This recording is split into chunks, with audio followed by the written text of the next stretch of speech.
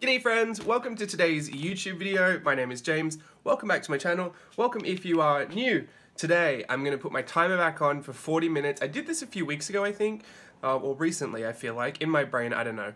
Who knows? It's the 14th of January, June, April, May. I have no idea when I did this. I think, I feel like it was quite recent. I'm to put the timer on for 40 minutes and just sit here and chat with you uh, or chat to you, I guess. Um, please feel free to respond to the screen um, or in the comments below. I'm going to go through uh, a couple of these journals because this is what I've been working on in my virtual voyage. But my real goal for today is to open this. I have not even opened it yet. I saved it especially for the video. Um, this is the Kuretake Gansai Tambi, uh, water, it's not really watercolor, uh, Gansai is the, the paint, but it's um, it's like a watercolor set. It's not watercolor though. Don't call it that. People get very mad in the uh, in the YouTube comment sections if you call it watercolor. It's technically not uh, the same makeup as watercolor. Watercolor is um, it's pigment plus the binder is usually like a gum arabic or. Uh, there's types of binders that are watercolor, but this is also produced with uh, kind of a glue from animal hide. That's what makes it different from watercolor. There's a bunch of um, different things that go into the binder with the pigment. So it's uh, traditionally made for like the Japanese sumie kind of paintings, but I'm going to use it like watercolor today. I, uh, I was watching someone use it and I thought, you know what? It's got a really flat lay of uh, color when I was looking at it. It kind of looked really nice and flat. I don't know, I'm going to get to this anyway. Um, what I thought it would be great for is, um, I'm a hoarder of these art supplies, so just check that box off. But I wanted to have something that was like watercolor but just laid down flat so I could do quick coloring. Um, I like my watercolors, but I spent a lot of time curating a set of watercolors that is, is very unique, like a lot of pigmentation, um, properties are different in each of these watercolors. Some granulate, some are multi-pigment, um, these iridescent and these metallic ones. Like there's a lot going on in this set that doesn't make it great for rendering something uh, just kind of flat, which I guess I don't really need to do that often, but I've decided all of a sudden I might want to try it. so uh, cracked out the company credit card and bought this set of paints. I got them off Amazon. Uh, I don't remember how much they were. I think, I don't even remember what size set this is. Does it say? Oh, it says 48 colors. There you go. 48 colors set. We'll look at it in a second. Um, I'm going to set the timer so that I, I don't run over. But that's what I'm doing today. I'll probably be drawing some mermaids in one of my journals and painting them. Just in case you want to leave now, if that sounds boring to you me chatting and me doing that at the same time. All right, time to start for 40 minutes. Here we go. So, how are you doing? How are you? How have you been? I've been lovely. I've been working on the virtual voyage. You haven't heard about that. It's uh, kind of a four-week experience online. It's like a it's like a workshop meets a content offering experience, but there's a live component to it. So we go through it all at once um, together, and each week is themed differently. We go to different ports of inspiration. There's an overarching theme of it being about cruise ships because I used to be a dancer on cruise ships, and it's just uh, it seemed like it would fit. And it, to be honest, two weeks in, it really does work. The um, the concept like it fits the structure fits within this random cruise theme concept but it is uh, yeah it's pretty fun we've done the first week was down the rabbit hole so we were doing lots of inspiration pulling from um, alice in wonderland Second week is Fathoms Below. That's the week that we're currently in. So this is uh, The Little Mermaid, or any kind of tales under the sea. I'm saying The Little Mermaid, but um, I'm quite liberal with my interpretations. And uh, the next week we're doing Avant Garden, which is a look at fashion illustration using Christian Dior as a bit of an inspiration. And the last week is Over the Rainbow, and that's The Wizard of Oz. So I'm doing different signatures for each of mine. I think a lot of us are doing this. This is a, a US letter-sized journal. I've just hand-bound these signatures. There's only three pages, which once folded over and all is said and done, um, you've got 10 pages in the inside to work on, like 1, 2, 3, 4, 5, 6, 7, 8, 9, 10, and then a front cover and a back cover. But since these are all going to be signatures inside of a bigger journal, I think uh, you could safely say that that'll get you 12 pages to work on. But I'm still doing front cover, back cover. I don't know why. I just didn't give that up. So this is uh, some of the look, uh, some of a look at what we've been doing. There's lots of lessons. Sometimes I'll jump on live and just do a bit of a hangout, a live on the Lido deck hangout, uh, where I just go through my process. The other night I was using references to um, show how I map bodies out, which was um, people that were at that that shared shared such incredible work. I was actually truly blown away. Uh, so if you are a part of the virtual voyage and you haven't watched that replay, um, I'm assuming people found some great success with it only because I saw it with my very own eyes. Um, I won't say much more about it, but yeah, that was really fun. These are just a lot of the lessons from um, down the rabbit hole. I didn't end up finishing some of mine. Like this page here, I totally didn't finish and I'm not going to finish it today. Um, I can keep working on these. There's no need for this to be done at the end of the week. I had hoped I would get things done by the end of the week, but there's just like, there's a lot going on in Virtual Voyage, and as per usual, I have um, overcommitted myself to everything. you know what I'm like. Uh, and this is my Fathoms Below one. This was a um, fun little collage moment. We did these brushstroke mermaids with the tapered strokes. Love that um, bit of collage. This was the photo references. So Steve and I went and did a photo shoot. I actually have some behind the scenes footage. I'll put it up here. I'll put a little screen up as well. Um, we did a photo shoot building a set of reference images to draw from, and that's what I've been having fun doing more recently. These are some of them here. Uh, and I used inspiration from the Neverland Mermaids uh, at Mermaid Lagoon, Disney's Peter Pan, the animated classic. I absolutely love. See, this is what I mean. It wasn't technically the Little Mermaid. um, I, I pulled I pulled out of that for a second just to go to my uh, my classic Neverland Mermaid inspiration. It's one of my favorite all-time scenes in a movie. I just absolutely love it. And so we had uh, Janae and Sarah here do a set of reference images for anyone in the course to either print out and use like I've done here or just use them straight from the website. Um, I even did pulled some into Procreate and drew over the top of them. Uh, and it's just a, a, tool, another tool for drawing. A lot of the course is about, sorry, this is not to sell it to you, but I'm trying to explain what all of this is. Um, a lot of the course is about uh, how I use all of these skills and techniques to uh, to learn as I go, but to also be in the process of art journaling as I'm learning. And uh, so I'll leave a lot of this stuff in here as it is. Like the, the learning itself is documented, and then you can uh, actually come up with these fantastic results. And then when we're in live classes, we end up doing lots of fun stuff where we do have a um, like a finished piece. You end up learning by doing, which is my favorite way of learning, rather than learning all the theory beforehand and then trying to apply it. Um, there's a lot of self-study components too. I like people to uh, kind of manage how much they want to get out of a certain amount of things, but the live the live class, um, unless you're just sitting there not doing anything, um, we do go through it together and you do end up with something finished or relatively finished. Um, so this was that. And I like to kind of explore different styles that I'm enjoying or that I have enjoyed before or that I think would be beneficial just to teach because, um, yeah, there's a million and one things you can do in art and in art journaling. So why not explore all of it and have the most fun you can have with all of it?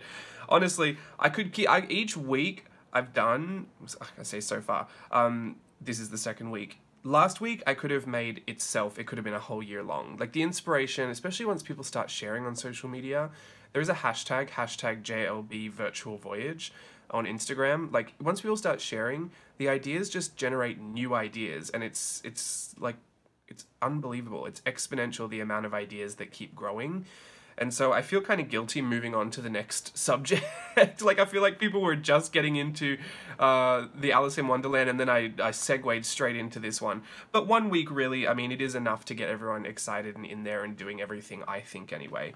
Um, but I am possibly thinking about different versions of this for the future and uh, either shorter versions or more intense versions. I'm not quite sure. I'm still loving it the way it is right now. This signature seems like it's on track to be finished by the end of this week, I believe. Sorry, I'm just going to check them in frame. I'm a little high. There you go. Um, this this seems like it'll be finished by the end of the week. I think. It seems like it will be. And if it's not, it's fine. But once I'm done with all these signatures, I should have four, um, possibly five if I want to include... Oh, I've got a couple that I do demos in. Um, I don't know. I should have a bunch of signatures, and I can put them all together and bind them into one bigger journal, like a whole journal where all of this is just one book. And then I can keep my whole virtual voyage experience together. Anyway, I don't need this one. I need this one. I'm going to draw some mermaids, and I'm going to get into this paint. I actually want to get into it now, because I've been waiting. It's huge. I don't know where I'm going to store it. Oh, look at that. Isn't that pretty? This, um, I'm assuming they want you to swatch it out on there. To me, this is a little flimsy, and I'm not quite sure if it even is watercolor paper. It might be really thin watercolor paper. Um, some of the, this one's cracked. I don't think that's the end of the world because they're going to stay in here. Some of them look like they've got um, hair in them. Uh, people have asked before, like, why, why have them like this? Why not store them like watercolor? Because the style of painting with these, the sumi-e painting, is um, is meant for those big Japanese calligraphy brushes. I haven't got one that's not ruined here. This one has had glue on it, but imagine this were a real calligraphy brush. um, it's so that you can fit your brush inside the pans and uh, and be able to pick up all that paint. Otherwise, I mean, trying to fit a brush like this into a tiny little half pan is just, it's doable, but you will pick up about nine colors at the same time. So that is why they're made like this. And like I said, it's not watercolor in the sense that the makeup of, like the chemical makeup of it is different. And there are animal glues in this. So if you're vegan, you're not going to enjoy this. Um, but it is, yeah. And this is um, carmine, which I believe does, is made of the carmine pigment. So this is very not vegan. Um, that's not something that I look for in art supplies, but just worth mentioning because I think some people um, forget that art supplies themselves can be uh, vegan or not vegan. I know people are against kind of uh, animal hide journal covers and uh, real, um, what's it called? This is synthetic, but I believe it's synthetic. I'm sure it is. Uh, the animal hair bristles in brushes. There are lots of different art supplies that, uh, you know, aren't vegan friendly. This is definitely not one of them. I'm to spritz them with water just to get them activated. I have a gold pan of this, and I do have the Japanesque colors, which I think are a hybrid and are made with, like, ink, I want to say. I could be lying. I didn't do my research about that one. Um, but they're really beautiful dark colors. And they've got a tint to them. There's like a, a bluish, a bluish dark color. I'll get them out, hang on. I wonder if they're Kuretake as well, I'm sure they are. Here is, no I don't know the brand actually. These are very much the same. Can you see it says greenish black, bluish black, purplish black, brownish black. Yeah, they and they really are dark. They're nice. Do you use those? let's get rid of that. Oh, this chair is going to drive me nuts. But I have zero plans to get the WD-40, so it is my own fault. Let's open up the page I want to draw on. I've got so much space over here, I think I can draw mermaids. I'm going to check that I'm in frame again. Set up the camera all wonky. To me. I hope it's straight for you, but it's a little wonky for me.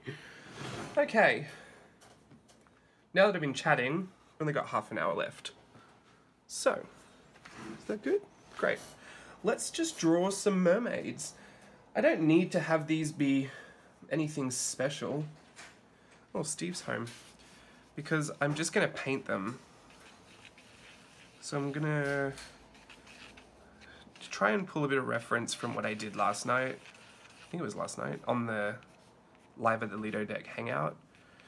I was using the references to draw the mermaids and map the bodies on. And we did like a 50s kind of looking face, which I really like. So I'm to put that on here. And then, I guess because I have these here, I might as well use one of these references here This probably won't make sense to you if you don't know what I'm doing, but just pretend I'm drawing a skeleton and then I'm to draw everything uh, on top. I'm using this reference here. I'm trying, um, this is such a random segue, but in Virtual Voyage, because there is, it is a workshop as well, like you're supposed to learn things um, if you want to, you don't have to, it's not a rule. But I'm trying to kind of add lessons that uh, demystify some of the things we assume are really, really difficult. Um, just because there's just a lot of steps to them, or we haven't tried them, or Um, every time you go and watch a video about it, someone says, well, like, you won't get it until you put in hours and hours of work. Um, I mean, yes, hours of work and practice is good. There's no reason why you can't try it. And so I've really been trying to demystify some of the more difficult things that even I myself spent ages not trying because I thought, oh, I just won't have any success with this because I'm I'm not committed to practicing. I want to have fun. I don't want to sit down and draw for, you know, nine hours before I can even get somewhere. So I spend a lot of my time formulating the lessons so that I can uh, keep that in mind. And that's why I like to have lots of finished products to to show at the end of our live lessons or at the end of the little tutorials. I like to show my own work so that uh, people have a reference, but I also like people to have their work um, be finished to some degree, so that you can really see that you you don't you don't need millions of hours to start. It'll help make you better or more confident. But it really did shock me. Ooh, what is that? police or ambulance? Sorry, I don't know if you can hear that. Probably, it's so loud. Oh, it's a fire rescue. Doesn't look like one of the um, one of the regular ones. It's a tiny little truck. Maybe it rescues cats in trees, but I don't know why they'd have their siren on for that. Where was my thought process? I'm so relaxed right now. I've got a have um, got a fun day planned later today, I have Art Journaling the Magic Zoom call, which is nice because I get to uh, be the student today. Can switch my brain off for a little bit.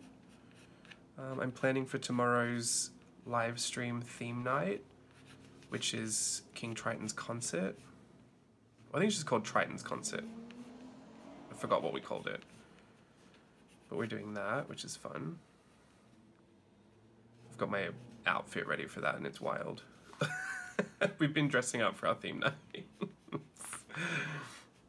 we figured if it was good enough for Australians to get dressed up to go to the mailbox, it was good enough. Uh, not in the mailbox to take the bins out. It was good enough for us to get dressed up for our Zoom calls.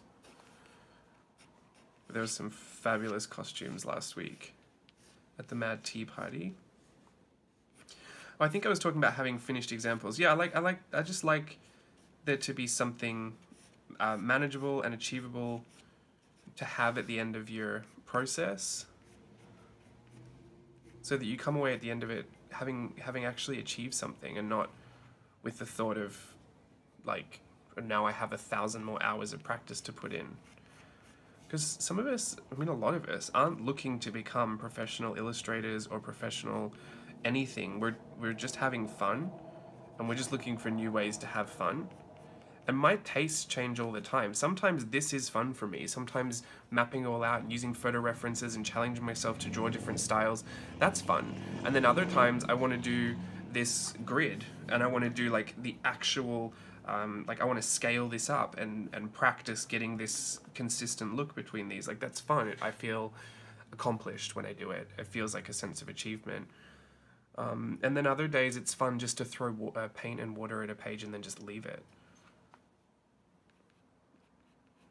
at all of these activities, um, you know, that's that's how I like to have fun. But everyone has fun different ways, so I try to mix it up. But ultimately, always lean into whatever I'm having the most fun with. selfishly, I just think it's easier uh, for everyone if I'm not trying to force myself to like something I don't like. So that is why I'm doing mermaids this week.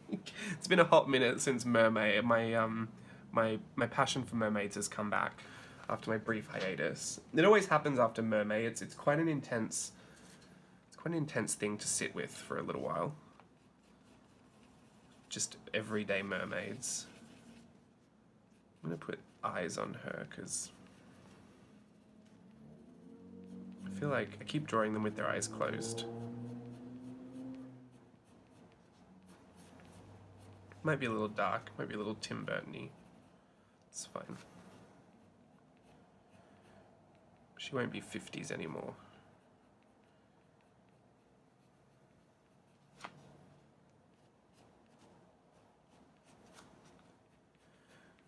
So yeah, that's Virtual Voyage. Other than that, we had a restock in the Etsy store. and we uh, released new washi tapes and that new Cutie Pie stamp set, which I'm excited about. Steve's gonna have a massive weekend of shipping ahead of him, so hopefully he's ready for that. Oh, do you know what? I might do some hair out this way. And swoop a big bang over the top, Ariel style. There we go. So thank you to everyone that was there at that um, that purchased from the store. We'll have those out to you as soon as well, Steve will. I've really, really encouraged Steve just to take that job away from me. Sometimes I really enjoy the um, the mindlessness of, of shipping and packing orders, but when I've got a lot to do, like um, like all this uh, content offerings for Virtual Voyage, and then making sure that I'm still uploading to YouTube and um, answering lots of questions and emails, and like there's just a ton going on. Um, I find myself not enjoying the monotony of it so much and more resenting it. I know that's terrible to say, it's just honest. But I do always remind myself that it is the best problem to have, to have too many orders to ship that it becomes boring. And that there was a time when I told myself that's I would do anything for that problem. So don't whinge and be grateful. That's what I tell myself. or rather, um, the little voice that occupies a space in my head that sounds like my mother tells me that. I'm sure you all have your own version of those voices. That's good though, bit of accountability. Keep everyone grateful and humble. Alright, I think we've drawn our mermaid and she looks fabulous. Gorgina. Now I want to paint, and I think I'm going to have to try and put a lot of these colors in the tail because I was I was going to use um, every color in here, but I don't even know if I'll be able to make that work. Let's just see. So my goal when I'm getting a new art supply is to use it the way I think I'm going to use it. Oh wow, it's kind of opaque. Um, and me getting a feel for it, the way I want to use it, is going to give me the best idea of how to move forward with that product. Um, I know people like to watch a lot of reviews. I always take reviews with a grain of salt. A, if people are being sponsored. Not that I have a problem with sponsored videos. Um, you know, you always have to agree that, that even if people aren't saying nice things about the, the product, there's still always an incentive to say something nice about it. Um, you rarely see someone getting paid for a review that absolutely states their 100% candid, honest opinion. Um, myself included. I just I just think your headspace is different when you're testing it, and you're you know you're working it out, and you're thinking, like, is there a redeeming quality? Like, if I had to find one, like you're more likely to mention that rather than if you bought it yourself, and you think, oh, this is crap. like everyone told me I would like this, and I don't doesn't do any of the things it said it does. But also, I, I mean, I think my ideas about consumerism has changed since I moved to America. Because I, I never used to return anything. It, like, didn't even cross my mind that you could return things like food at a restaurant. I mean, I still don't. But I guess what I'm saying is having, um, now that I own my business and I ship out products all the time and I have to deal with the cost of the a customer resolution on the other end, um, I've had to learn to accept and adopt a lot of that consumer culture. And so my thoughts about everything has kind of changed. I've, I've no, I'm not so gracious if a product touts itself as one thing and doesn't perform that way. And um, like whereas before I would kind of say, oh yeah, it's just a bit of a miss for me. Now I might be fully inclined to return it or to um, give it a bad review. Whereas I feel like in the past I never used to be like that. I mean, I haven't hit the day, the stage of giving a Yelp review for anything yet, but who knows? It might just be around the corner. but in general, I do try to find things I like about everything. And I've said before, if oh, she's gonna have sunset hair. I've said before, if you um, like, if you get something and it doesn't really work the way you thought it would. It, it can be disappointing, but it doesn't mean it's a bad product for everything. Like a lot of the time when I have um, white paint pens or white pens, I think, oh, well, it's not super opaque, which is hard, right? It's really hard to get a super opaque white. Um, there are other uses for it. Like, there are lots of times in my mixed media where I only want a sheer kind of glaze of white over it, like a transparent layer to kind of dull something or uh, slightly pop something out a little bit or kind of merge something together. Even in the eyes, like maybe I just want to kind of glaze over something and I don't want a stark, stark white. Um, so, you know, then I become grateful that I do have a few things that aren't as opaque as I thought they would be. I think you can find a way to love them if you want to. If you don't want to, it's kind of a lost cause, but I love this color. Yep. This was one of the colors I saw online that made me want to get it, because I don't have anything like this that's so transparent and so vibrant. When I saw that online, I said, I need that. I didn't need it. I really wanted it. I'm just mixing everything together to see what it does. It has that um, kind of feeling of when you're using dye-based inks. There's that patterning and pooling, or the um, the cauliflowering, even when you mix these um, colors together, and it has that vibrancy of a dye-based ink. I'm not quite sure because it's not dry yet. This looks like it's dulling down as it dries a bit, but it does have that same feeling but I, I like how flat it is. I can still manipulate that watercolor texture by adding water. Like I'll always add in little drops of clean water if I want to manipulate some texture somewhere. So I might try that in a few places. But some of these pans are really, really dark. I can't actually tell what color they are. Oh, that's pretty. That's really nice. What's that called? I guess if you're going to buy some of these single, I don't know why you would, but if you did, um, colors I'm loving so far, I believe this is called Malachite, and then it's two over from that, three across. What's that? Turquoise Green Deep, or turquoise. That's really pretty, that color. I'm not mad at this little pink too. It's kind of difficult to get uh, light pinks and baby blues in watercolor. I got some from Japan last year from a little 100 year old store called Gekkoso, but I'm running kind of low. Well, the tubes are empty actually, so I'm on my last half pans of those. So the I think these will be a nice replacement for that, because these are quite transparent. In my opinion anyway for a, a, pastel color. I guess I should make all those stipulations. They're not transparent at all, but the way I want them to be, it'll work. And that's the thing too, we all work differently too. Sometimes a, a, a product working um, perfectly is, is not what you need. Sometimes you'll, you'll find something else to do with it that is more you than whatever that product promised to be.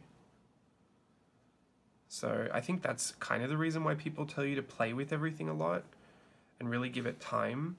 And it's it's why I find it hard to review things anymore because every time I would give reviews, a lot of people would get really mad if I hadn't um, if I hadn't noticed something, which I understand. Um, and I guess that's why I, always stipulated that or stated. Is that even the right word? I always stated that it was a first impression, which I didn't do this time. This is my first impression. Hopefully you saw that since I, um, I only cut off the plastic when I started the video. But when you're doing your first impressions, you really don't know what's going on. Anything could be happening. And maybe you've, um, maybe you even used it wrong, or maybe it was a really hot day and it was affecting something. Like if you're using watercolor, maybe it was a really humid day and it just wasn't drying properly. I don't know, there could be a million reasons. But people tend to get very upset if you haven't if you haven't found the workaround that they've found. Um, I personally don't. I'm just thankful if someone does find one and they share it on YouTube. But yeah, I'm, I'm kind of over that drama, to be honest. Of being reviewed for the reviews. because I can't know it. I mean, I did one once where I did a, a Chic Sparrow unboxing, and I think I'd used it for a long time before I gave it a review. Like, by the time I had made the video, I had been using it for a while. And I felt like that was better. Because I could actually uh, integrate it into my routine. There have been things that I've said before, I, I just got this and I really like it, um, but then I don't use it again for months. And so it's hard. And I, I feel like expressing my opinions, I forget that some people are going to go and buy it because you said that. So I, I have to remind myself. But I'm, I do not think I'm doing a great job of selling these to you. So hopefully no one's tempted to buy these, unless you were already thinking about it. But I think they're totally going to work for what I wanted them for. And I really like that they're really vibrant. What's this color? Ultramarine Pale. Oh, that's nice. It's like a periwinkle. Beautiful.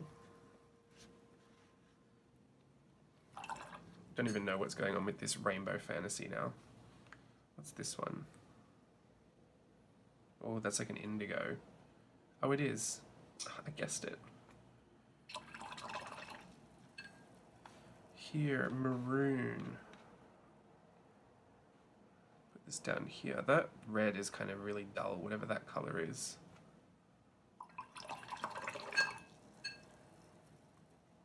Oranges I find hard with watercolor as well. I know I've used this, but let me just put it somewhere on its own. To me that's more of a yellow orange. I like an orangey orange. What's the next one? This one's, um, oh, this one's scarlet, cadmium scarlet. That's more of an orange I like. Maybe somewhere halfway between those. Well, let's just paint it to the top of the page. This is so random. How did this become my whole swatch? this one's called Aureolin. It's just another one of these yellows. I can't really tell what the difference is. I am mixing them together too, so it's not like... I'm not being super serious about it. What's this? Cobalt Violet. I've used that one. Imperial Violet. Blue Grey Deep. Oh, I love Payne's Blue Grey, so probably like that. Hmm. This lilac, I want to use this. Oh, that's pretty. Yeah, I like that. I'm gonna have to give her a new face or something once this is all said and done. Because she just looks... She's just put on way too much makeup and I'm not living for it.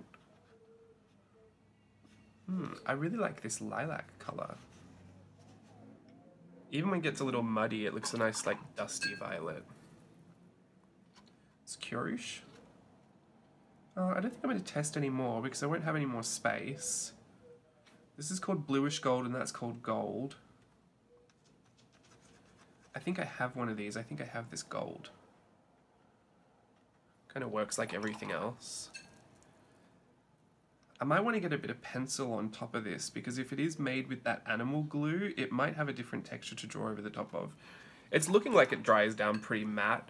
Um, I think if you lay it down thick, it would kind of have this glossy look to it, like it does when it dries in the pan really thick. It's generally a good indicator of what something will do when it gets really thick. Like if you've ever seen a, a watercolor kind of crack in here, just know that if you put it down really thick on the page, it's not going to be super flexible and it will probably crack as well. Happens a lot with gouache. There's just a lot of pigment in it and it just sits and crumbles off. This is called white gold. Is it iridescent? Or just like, it's like a silver. It looks like a really finely milled silver, so it almost looks kind of white. It's pretty. I'm not going to do these colors down here. I lie. I'm going to do white. Let's see if that is opaque. Well, it's kind of opaque. Could be nice for highlights. I don't think it's necessary though. This is going to do very well for what I wanted it for. Um, and I think just in general too, it actually looks really pretty. Not this. These. This area here kind of got away from everybody. But yeah, I'm really happy with that. What else? I've got eight minutes left on my my little stopwatch over here. Let me dry this. If you have these paints, let me know if you uh, feel like you got your money's worth with them.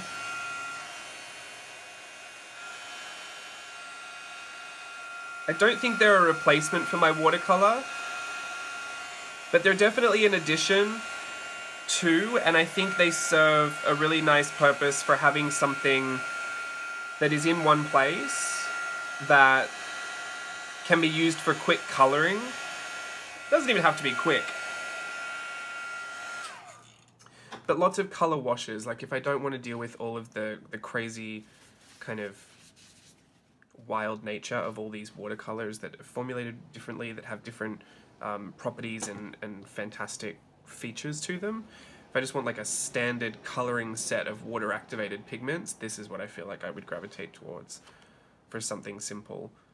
Let me try and put some pencil over the top.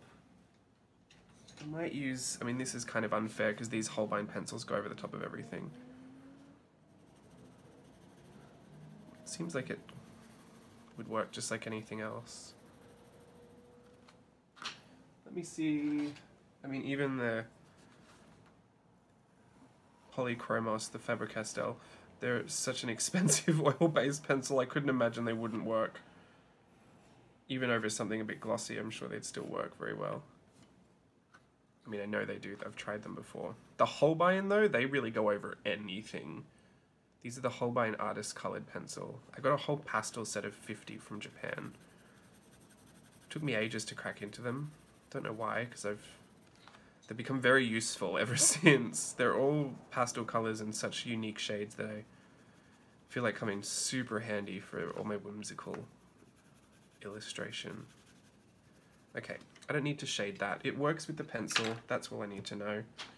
I'm sure it'll work with a pen too, but just in case, I got some new pens as well, the Uni Pin Fine Line.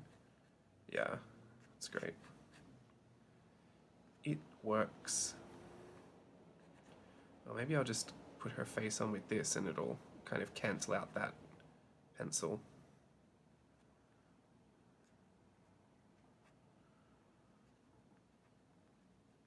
This is really nice and um, juicy, this pen.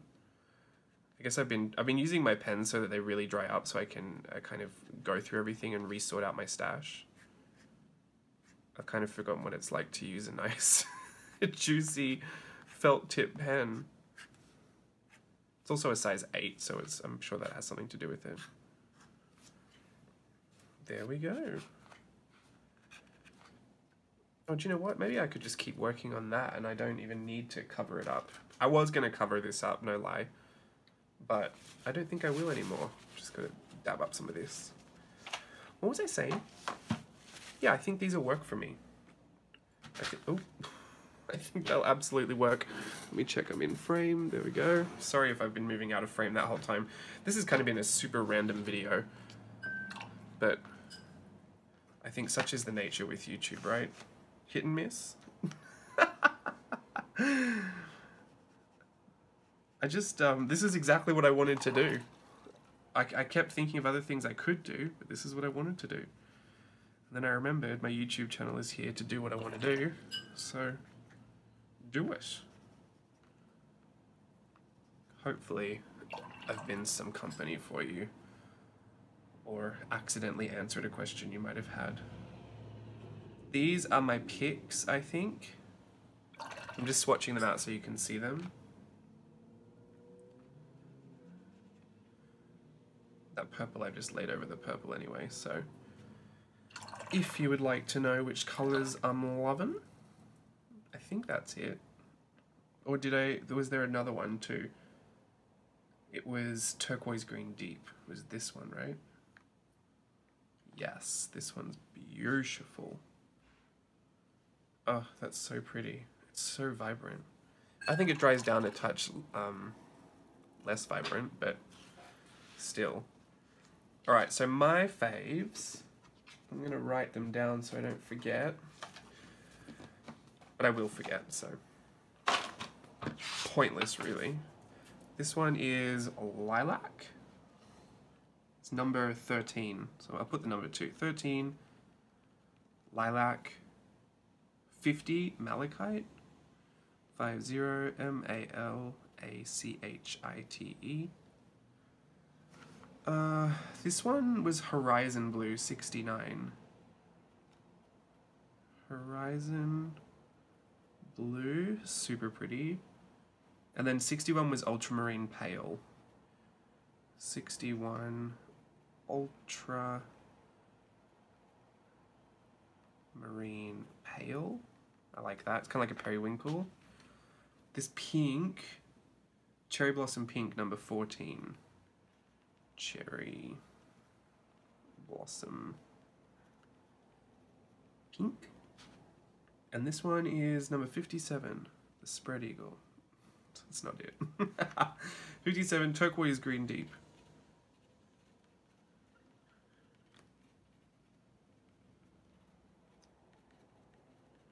And these are the Kuretake Gansai Tambi 48 color set. Yeah. I didn't even swatch them all out, but I do know that I love those. So, if not that that means anything, but if you're um if you're curious, I might end up swatching this out actually because I'm curious. Do you want to watch that? If that's not interesting to you, I'm sure you would have left by now anyway, so that's fine. I won't be offended. I'm just going to quickly swatch them out and see what all these colors look like. Okay. This one, Rose Madder Deep. Ooh, kind of like a berry red. Carmine, it's the same, it's kind of pinky. Got two jars of water over there just so I can get a nice clean brush. Rose Madder, this is a very transparent uh, red pink. This one's just called Red. I like it. Looks like a lipstick red. Next one, Cadmium Red. Kind of looks a, like it looks like if the lipstick red was like chalky. But these will all look a little different once they're dry. Cadmium Scarlet. It's orangey. I like that. Cadmium Orange. Nice. Cadmium Yellow.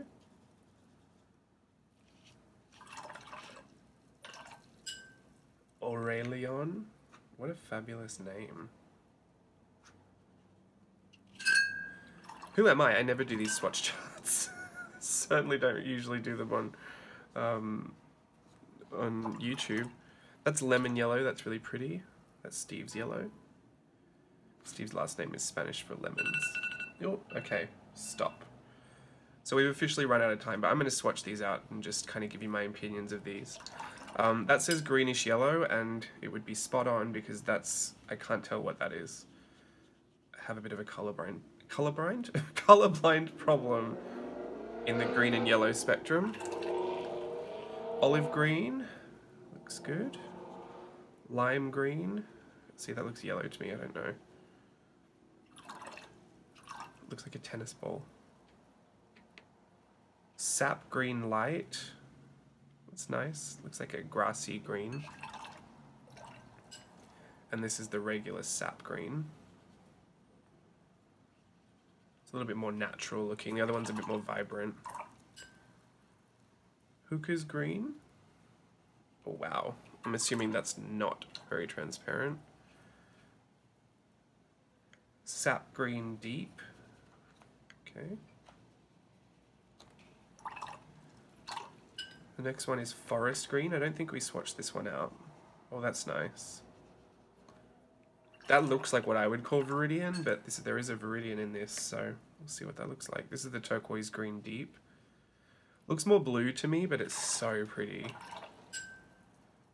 This is Viridian. Hmm. Yep, sure. I mean, I've learned my colors from other watercolor sets, so it just, I mean, there's going to be differences. This is the one I like, and the one that I bought this set for. I don't think you need to buy the whole set for it, but I figured go big or go home. That's Malachite. Horizon Blue. Such a bonus that this color is in there because I do like a baby blue. Ultramarine pale, I really like that. To me, it gives me a bit of, um, a bit bluier of the Daniel Smith lavender. And this one is Wisteria, which is giving me a, lilac is giving me kind of Wisteria replacement vibes. Not totally, but maybe. Sorry, I've gone into my other thing now. Okay, blot it up. And then this is turquoise blue. Ooh, I need some water. Okay. That turquoise green deep is my favorite turquoise. And I guess now it does look more green over there compared to this turquoise blue. This is a nice electric looking blue. Cerulean. I think it was a collection of cerulean jackets, wasn't it? I think we need a jacket here. Cerulean blue we love for quoting purposes. Color itself I'm not too fond of. I find it hard to re-wet in the pan. Cobalt blue, also not one that I'm super fond of. I only like it when it granulates. Those two look exactly the same to me, but I think they'll dry different. Ultramarine. Uh, I prefer French ultramarine, but that's fine. There's like literally no difference. Um, Prussian blue, oh that's nice, that's strong. That's more of that like royal blue. Indigo, nice. Every time I look at indigo, I think of calling it um, Midnight Ink. I don't know why, I've just always thought that would be a pretty name for indigo. Probably already exists, but it's just what I think. Blue Grey Deep. Looks like a darker version of that Daniel Smith Payne's Blue Grey. Imperial Violet. Oh wow, that is purple purple. Oh, that's pretty. Maybe I should add imp I never use violets like that, but I used it on that top. It just, this, this looks much nicer on this paper. Maybe I didn't use enough over there. It is still wet. It'll probably dry down a little lighter.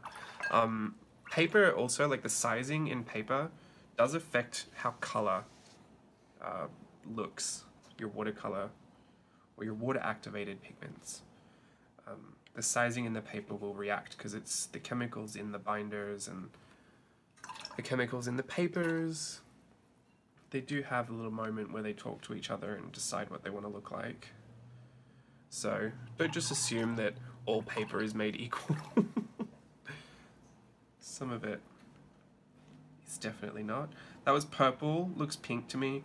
Lilac, looking a little dusty down here, but um, we do love it. It's that light um, wisteria looking color, the Daniel Smith one. Cherry Blossom Pink is um, kind of, it's, it is a baby pink, but it's more of a um, deeper baby pink.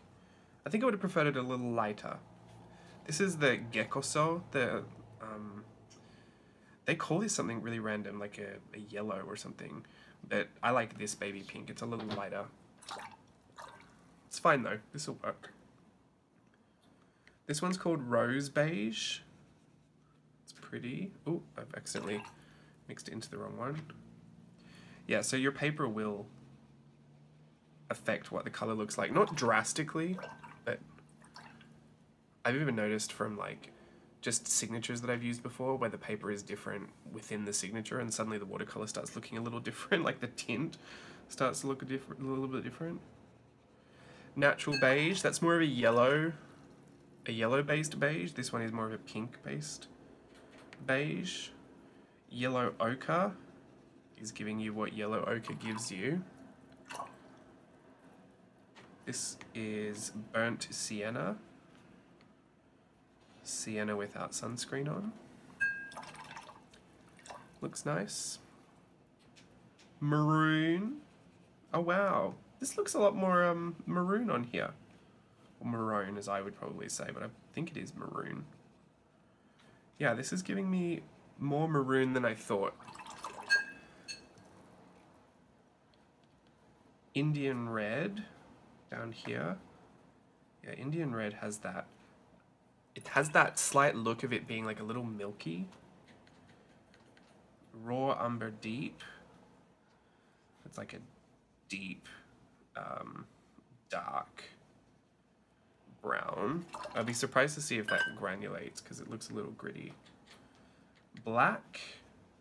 Oh, nice and black. It looks like the base of that black is... Do I have another piece of watercolor paper? I don't think I have one. I don't know what the base of this color is. Maybe I'll see if it... It looks like it's a, a blue-based black. Like it's a cool tone kind of a black. I prefer the cool tone blacks, but I'm, I'm fine either way. Gray. That just looks like a gray. I can't tell if it's warm or cold. It might just be a neutral. There's no real point to swatching out the white, but there's the white. and here are the uh,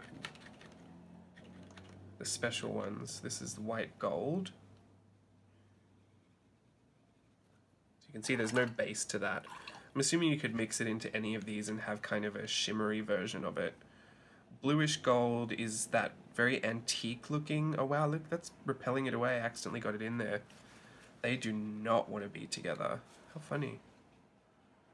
Um, this is more that antique looking gold. And this gold is not. It's more of a penny color. So I guess kind of coppery. But I actually like the look of both of those. They're not so bright. I don't really like yellow, yellow golds. Alright, that is the Kuretake Gansai Tambi color chart for the 48. I'm sorry if you had to sit through that and you didn't want to. Um, but those are my first impressions of the colors. And I'm still kind of sticking true to what I said I liked before. These uh, colors. I will add probably that Cobalt Violet looks really nice on this. Maybe I was not giving that a run for its money. The purple looked great when it was wet, but now that it's drying down, Cobalt Violet looks pretty good, and this turquoise blue is looking a little more appealing. So yeah, hopefully that helps if that's something you're interested in. Those shimmery things down the bottom, that white gold is actually pretty shimmery. I wouldn't mind adding that to something and mixing it together. Apparently, um, because of the animal glues used in this paint, in the binder, you don't really want to be mixing too many of these together or it doesn't mix the same way a conventional watercolor would mix. But you know I'm going to try it and you know I will find a workaround if I need to. so I think that's the beauty of being mixed media artists, right? I mean, art supplies, we love all of them. Um, you know, spending more money doesn't necessarily mean getting more out of it. Um, sometimes I have really beautifully expensive things, but I tend to prefer things that are cheaper. Case in point, I have many, many, many beautiful pencils, but I don't really have cheap, I don't really have like an expensive version of a cheap HB pencil. So I end up using like just random ones. This one's not actually that cheap, but wow. Pulls out the one example that I, I don't have here. Like one of these character pencils from Disney, I, I tend to use these as well just because they create a very light uh, pencil stroke and I can erase it really easily. A lot of this graphite that lays down from a Palomino Blackwing, it's a soft lead, it will um, smudge everywhere or I have to erase really hard to get rid of it all. So yeah, sometimes it's not about spending more money, it's just finding what works for you, and I think that's why we always just say experiment, experiment, experiment. And if you like what someone accomplished with, with their experimentation, then um, yeah, be sure to find out if there was any trick to it so that you can accomplish the same thing. So there you go, not really a review, but a nice little playtime. Here's my mermaid. I think I will cover her up. I don't know. I'm in two minds. um, either way, I'm not. I'm not. I'm not upset about it. I got my practice in. I'm happy with these paints and I will put them to good use, don't you worry about that. Thanks for joining me on YouTube today. I'm going to get myself set up for Art Journaling the Magic later today, and I will see you again really soon. Bye.